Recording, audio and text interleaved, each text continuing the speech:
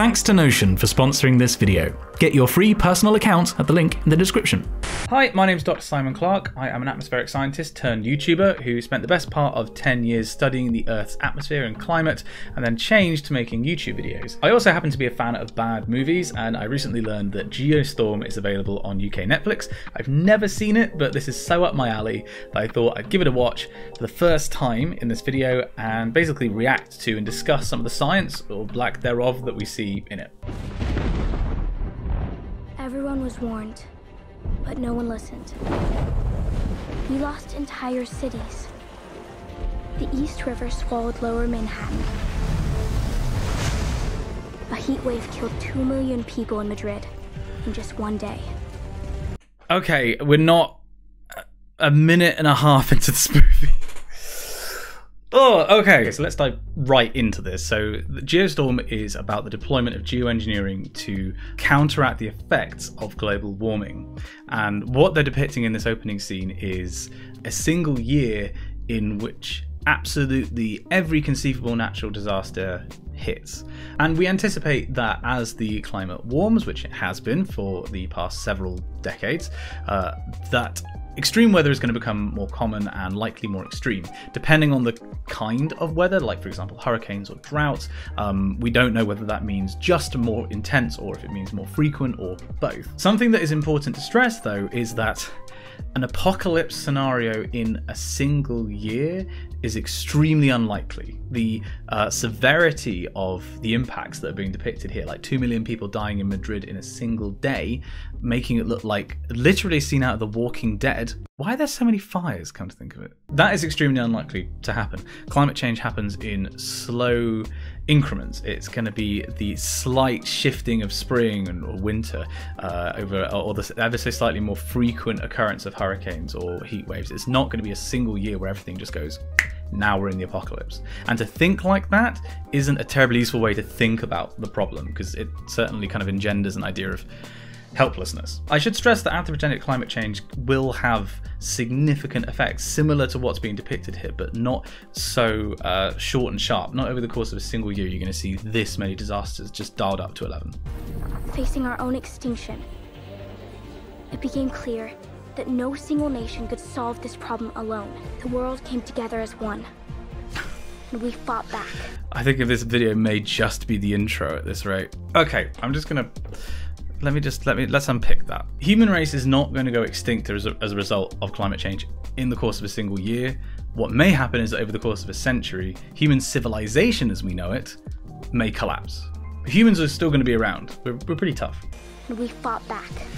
So, this idea of the world fighting back is a really interesting psychological point. So, take for example the famous picture of Earth taken from the Apollo program. This was the blue marble, it's I think the most reproduced picture of all time. And when it first came out, there was this idea that it was going to engender like a huge wave of environmentalism. It's like, look how fragile we are, look at how perilous this, this blue planet is. And yes, it did do that, but what it also did was basically instilled this idea that humanity was above the planet that humanity was on top of. And it kind of led this to this idea of um, what some people call the god species that humans can uh, make and remake the earth and that is us against the earth. It is this idea that we are somehow separate from everything that goes on. And when you see stuff like we fought back against the planet what we're really doing is fighting ourselves because we are part of this hugely interconnected system and the earth is just responding to what we are doing to it what we are doing to it is the problem. So we are fighting ourselves. The idea that we are fighting the Earth is just quite an is an interesting psychological point, but I think it's also quite an unhelpful way of looking at it because the Earth is not the problem. We are the problem. Scientists from 17 countries, led by the US and China, work tirelessly in Blender, apparently. So therein lies one of the major issues when it comes to geoengineering, saying that it's a coalition of 17 countries, it's led by US and China. The problem is that with any kind of international collaboration, there is only one dial when it comes to um, traditional geoengineering, obviously this is uh, a more sci-fi version. Traditional geoengineering is what's no- normally solar radiation management, so basically dimming the sun. Um, and there is one dial to that. There is the dial of how many aerosols you want to put into the atmosphere, how much sunlight do you want to reflect, and different countries will have a different idea about where that dial should be set a country like Russia, for example, may well want there to be a bit of warming because it would mean that they have a lot more arable land and suddenly lots of Siberia opens up to being inhabited. Whereas countries like, for example, um, Egypt or, or, places in the Middle East um, may well want the temperature to be a little lower than it actually was before we started interfering with the climate. And there's going to be an international tension about where that one dial should be set. I don't know if that's why they did it like this in this movie, or possibly if it was just because they wanted lots of satellites but the international unity that would be required to make a project like that work we've never seen it. I'm not going to say it's impossible, but we've never seen it. And what happens if one nation decides, actually, no, this isn't going very well, we want to change our minds? They found a way to neutralize the storms. Ooh. With a net of thousands of satellites, each deploying countermeasures designed to impact the basic elements of weather heat, pressure, and water. All overseen by the International Space Station. what? Why? Why would it be the International Space Station? It's it's a football pitch in space. They do like microgravity experiments, not weather manipulation. How many extra modules did you add? They gave the satellite net a technical name. What? But we all came to call it Dutch Boy. After the story of the child who plugged the dam with his finger. Okay, apparently they're raining Xanax on the planet. What entire nation is that density of satellites. That's a Kessler syndrome waiting to happen. Kessler syndrome is basically what was depicted in the movie Gravity, where um, if you can get one satellite colliding with another and producing uh, lots of fragments, you can get a chain reaction of all these satellites in orbit taking each other out, M- much like a, a, nuclear chain reaction, um, where you get more neutrons produced uh, for each fission. With that density of satellites, that is all but guaranteed to happen. That is th- th- completely infeasible.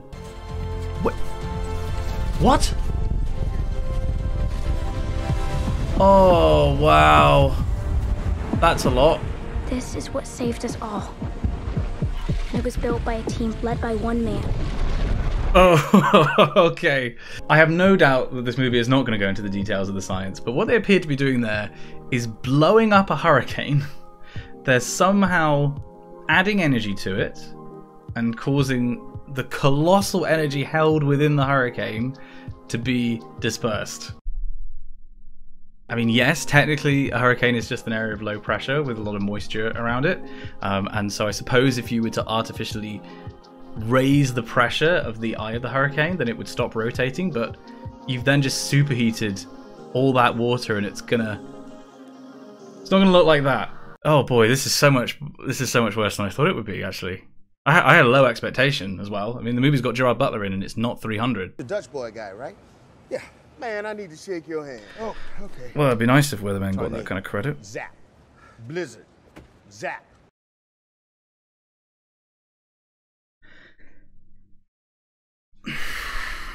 So the implementation of geoengineering in this movie is very much, as we kind of already talked about, man versus nature, and um, this idea that we are fighting against the planet, that you zap a monsoon or a hurricane or whatever it is. Now, as a matter of fact, there is a whole chapter about this kind of mindset uh, when it comes to geoengineering in Naomi Klein. Hang on, where is it?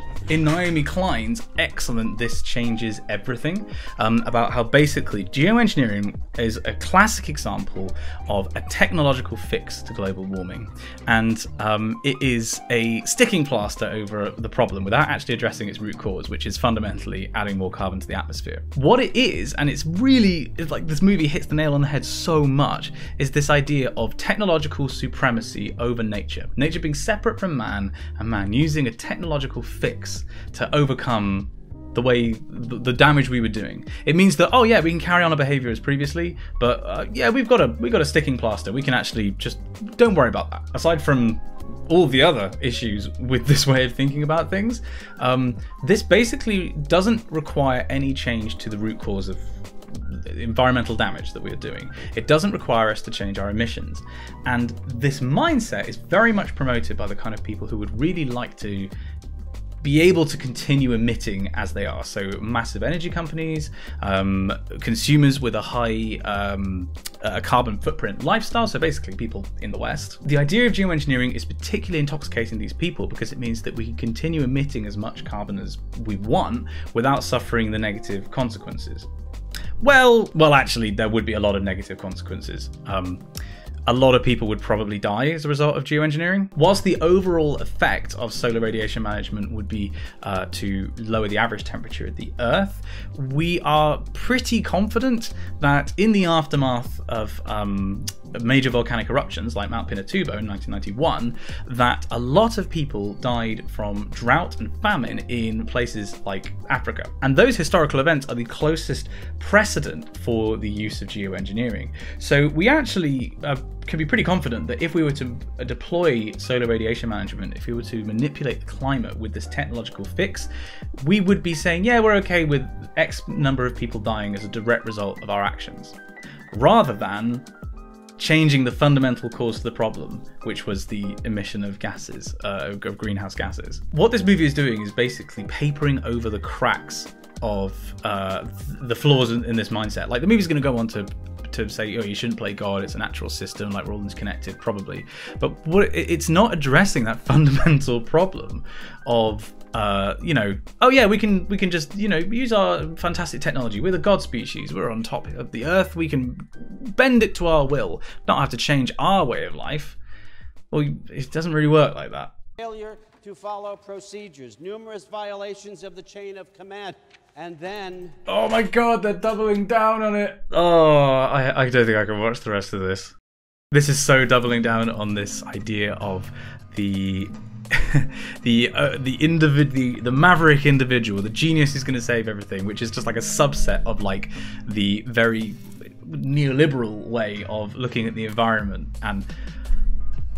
Uh, okay, so here's what I think we can draw from this movie. Well, the intro because I basically can't get past that. One, that the depiction of geoengineering that it's, it's depicting is definitely not in the scientific mainstream. It's not this solar radiation management idea of injecting stuff into the stratosphere to, to dim the sun, basically. Two, they have said that this system has been implemented in response to a sudden, sharp change in uh, in anthropogenic climate change. Basically, there's this rise in extreme events, and that's simply not in any way what we would expect to happen. And I think it's a very unhelpful way of looking at this issue that we expect it to basically be doomsday. Uh, that's not what we expect. And three, the, the way this movie is framing geoengineering is very, very typical of the kind of people who normally do talk about geoengineering, which is this idea of humans' mastery over the earth and uh, our ability using technology to fix a problem and not actually address the root cause. The fact of the matter is that geoengineering is a highly con- controversial uh, technology. There is absolutely the capability today to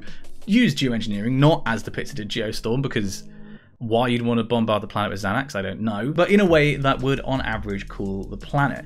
But we can also be very confident that it would have massive side effects, and it would particularly hit a lot of communities that exist in the global south, that exist in the developing world, that wouldn't realistically have a seat at the negotiating table that gets to decide, you know, how we do this massive climate experiment. We could be pretty sure that if we were to implement it, people, a lot of people, would have their lives irreversibly changed or just taken away from them. So I suppose that's something this movie gets right is that you know it's it, this technology is dangerous, but not not quite as they are depicting it. Can we do it? Yes, technically, absolutely can. The money is available. You know, it probably wouldn't be the United Nations that would actually do it. It would probably just be a wealthy individual like Bezos if he just got bored from fighting Ant-Man. But morally, should we do this? Uh, and also just in terms of, you know, practically the other climate knock-on effects and changes in precipitation and plant growth and all these kind of things absolutely we shouldn't be doing it. Oh, there's so much we could talk about geoengineering. Maybe, I don't know, if people like this, maybe I should do a follow-up video. This was basically just an experiment. I wanted to see how this